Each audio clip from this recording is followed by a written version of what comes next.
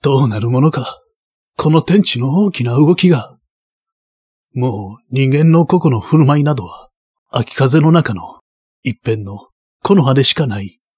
なるようになってしまえ。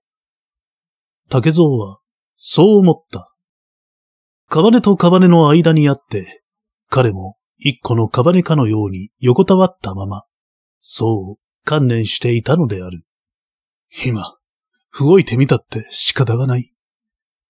けれど、実は体力そのものが、もうどうにも動けなかったのである。竹蔵自身は気づいていないらしいが、体のどこかに、二つ、三つ、玉が入っているに違いなかった。